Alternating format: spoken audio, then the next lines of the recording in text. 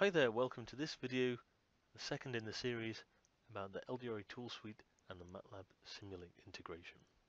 In the last video, we ran a software in the loop test and used LDRA to obtain the code coverage information during that execution.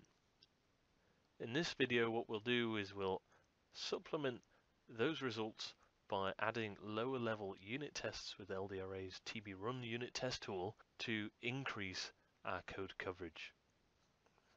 So this is the point that we left off from the last video where we ran a SIL test and we've generated a code coverage report.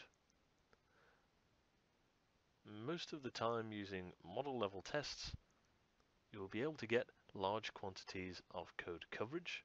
However, there will typically be some gaps which are very very difficult to touch and get coverage on with model level tests.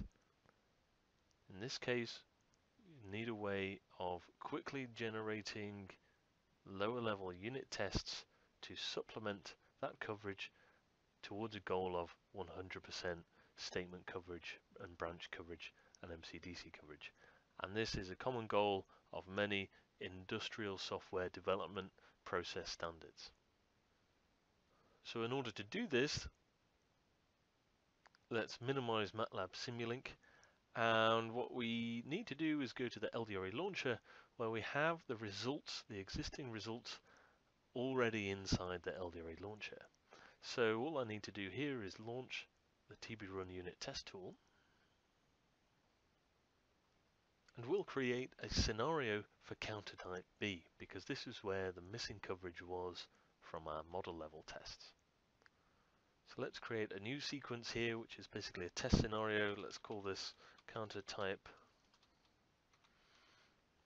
B and we'll select code coverage and we'll keep all the other settings as default. So here we can already see the code coverage data that we have. So let's take a look at the flow graph and understand this a little bit more. So this is the control flow within the procedure and we can see that we've taken the false branch through this decision up here but we haven't taken the true branch down here. So let's set up a test to execute. And I can see there's some functionality here that I might want to test. So here we have during a reset state, this global variable gets set back to zero. So we want to take to create a test which checks that functionality, checks that that is the case. So let's kill the flow graph here and create our first test case. And the first test case is probably sensible to call the init, the initialization procedure for the counter. And I'll just execute this test case and this will report back what value has been uh, initialized in the so here we've got a global value of 15 I'm not exactly sure what that means but I can be confident that this counter is now initialized. So let's create a new test case for counter type B and we can see there's some global variables here.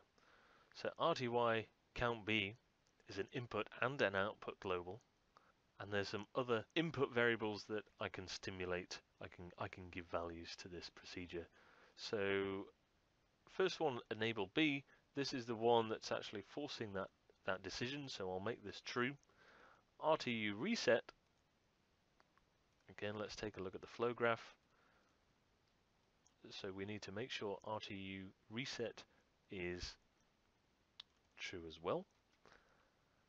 RTU ticks to count, I'm not really fussed about this variable, it's not um, important for this test, so I can set that as to, to retained, so this will be just whatever the global variable is uh, initialized to through the first test case and the same with RTY count B. I'm not really too fussed in forcing the, va the value of that global. I just want to check the output. So in this case, RTY count B is the output that we're checking. We want to check it is equal to zero uh, once this test case is called with these inputs. So I'm going to put three here just to check that the uh, harness will report a, a, a fail on this value. So let's run this test case now and indeed we have a fail, we have an expected value is different to our actual value. So we can be sure that actually, yep, the, the, the procedure has returned zero with this set of inputs on the reset state. So I'm going to store a zero for regression purposes. So when I rerun that test, and on the regression report, we'll get a pass. So importantly, I, I need to add some documentation here. Then I can take a look at the flow graph and check if I've increased my coverage, eh, which indeed I have. I've got some more green there. So notice that the flow graph is already adding up all of the coverage from the model level and the unit test level already. If we just wanted to have a look at the existing run, then we could change to the current run, in which case we get the red down here, which means this is the only path that we've taken through this test scenario. So let's meet this branch here, just for the sake of a full test suite. So let's create a, a new test case and we'll just call this a test case for coverage. We'll not actually check any functional outputs. We'll just make sure that there's no nasties in there, no runtime errors with the given set of inputs. So RTU reset we need to make false. And a zero, I'm not fussed about this output at all. I'll just suspend this for now to indicate that I'm not actually checking any value. I don't want that value if the model, if the code changes or something like that.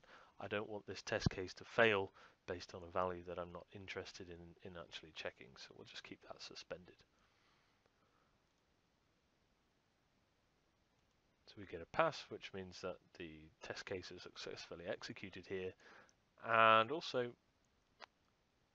on our current coverage run, we're now getting towards 100% statement coverage, which is great. And also our branch decision coverage has increased as well.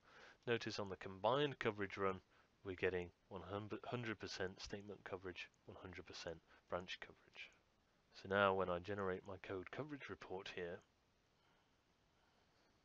we still have a fail, but it's looking slightly better. So we have run one, which came from the SIL test from MATLAB, and then we have full runs, so that's each time I, I push the run inside TBrun, it's accumulated the coverage for those.